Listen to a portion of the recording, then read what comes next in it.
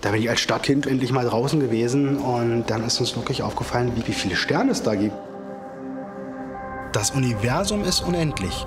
Wir können es nicht erreichen, wir können es nur anblicken und dann irgendwas anfassen zu können, das wäre toll. Wir fliegen mit Raumschiffen ins Weltall, um das Weltall zu erforschen.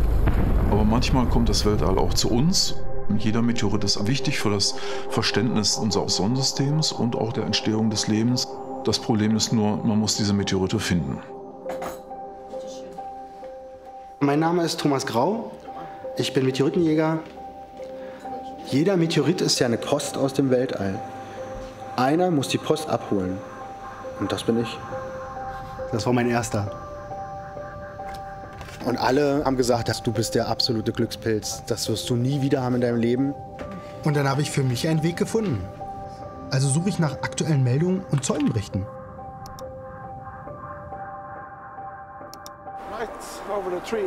Ich muss interpretieren, was sie gesehen haben. Entfernung, Position, Geräusche. Verschiedene Stücke machen diesen Bum, Bum, Bum. Also man kann vom Ton her mitbekommen, wie viele Steine fallen. Ich trage alle Informationen in meine Karte ein und begrenze so das Fallgebiet. Na, dann zieh ich los.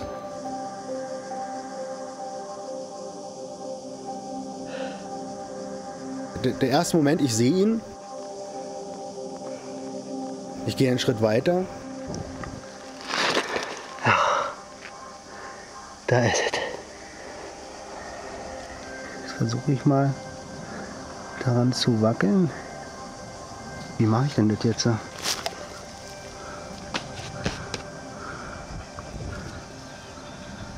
Richtig schön, wie man es erwartet, ein Fragment. Thomas ist kein Wissenschaftler. Was ihn antreibt, das ist dieser Jägerinstinkt.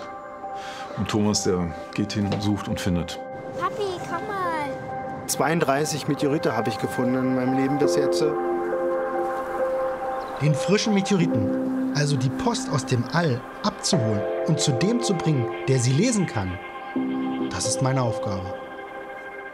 Deshalb gibt es für mich nur eins. Suchen.